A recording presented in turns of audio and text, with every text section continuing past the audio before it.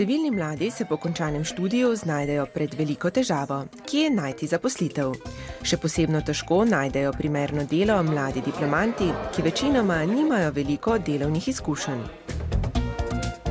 Zaposljivosti praktično ni, ker podjetja ne odpirajo novih delovnih mest. Zato bo treba velika kreativnost posameznikov, ustvarjalnost in iskanje lastnih potencialov, kako se sami tržiti na tem krutem trgu dela. A kot kaže, se tudi mladim mariborskim iskalcem zaposlitve obetajo boljši časi. Prav zanje so v Mariborski razvojni agenciji pripravili operacijo, poimenovano Podjetno svet podjetništva dva tisoč trinajst.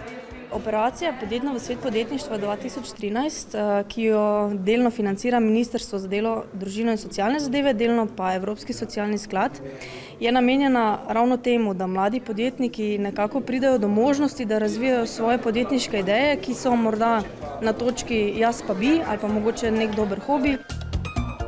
Z operacijo so leta dva tisoč deset začeli v Zagorju. V letošnjem letu pa so idejo prevzele tudi druge regionalne razvojne agencije. V Mariboru je bilo zanimanje za sodelovanje zelo veliko.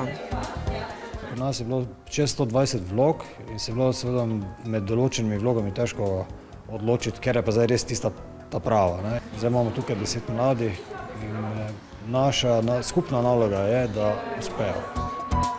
In po dobrem mesecu trdega dela, izobraževanja in razvijanja podjetniških idej ima skupinica izbranih bodočih podjetnikov že marsikaj za pokazati. Moja poslovna ideja je promovirati turistične ponudnike Svete Ane, ker sama od tam izhajam, sem domačinka. Nastala pa je ideja tako, ker so tudi moji starši sami se ukvarjajo s promocijo oziroma ukvarjajo se z zeliščarstvom, in zato sem tudi prišla sem na to operacijo. Moja kozmetika je dejansko stoprocentno naravna. Vsa zelišča, ki jih uporabljam, so ročno nabrana na obronkih Pohorja. Kozmetika narejena po tradicionalnih postopkih. Imam negovalno kremo iz sivke, potem kremo za obraz pomarančo, medeni balzam za ustnice in ognjičevo mazilo. Milo s konopljo je zdaj najnovejše v moji zbirki oziroma ponudbi. Zelo dobro je za suho kožo. Potem delci konoplje v milu pa so, nam dajo dober piling na kožo. V bistvu se je ideja porodila, ko sva s prijateljico začeli peči tako za prijatelje in družinske člane, predvsem unikatne torte in pa te cupcakese, ki v bistvu v Mariboru in Sloveniji še sploh niso tako, tako aktualni. To so naravni domači piškoti, posebej za kosmatinčke. Vse sestavine so skrbno izbrane, preverjene od veterinarjev, naravnega izvora. Vsi naši izdelki, kot tukaj mafini, kot piškotki, imamo še tortice, pečemo in še in še, so brez konzervansov, brez barvil, brez soli in brez sladkorja.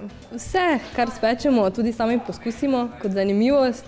Brezmesne je nevede moj fant tudi pojedel in na koncu smo ugotovili skupno, da so zares zelo okusni. NRA mi je pomagal predvsem pri ustvarjanju poslovnega načrta, potem raziskavi konkurence, postavitvi cen. Pričakujemo nekje do poletja, da bi odprli tudi svojo lastno prodajalno, kjer bi tudi bila noter majhna pečica, tam bi tudi prodajali. Seveda pa, ko bi ljudje začeli prepoznavati našo znamko, bi se razširili po Sloveniji in tudi v tujino. Ker je zanimanje za operacijo veliko, ne le v Mariboru, temveč v vseh slovenskih regijah, razvojne agencije pripravljajo že nov razpis. Če ste mlajši od petintrideset let, imate dobro poslovno idejo in veliko energije ter poguma, da jo tudi uresničite, se lahko na nov razpis prijavite že junija.